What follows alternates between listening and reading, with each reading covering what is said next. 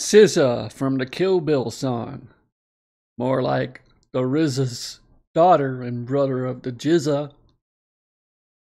God, that's so stupid. What the fuck am I doing? Christ.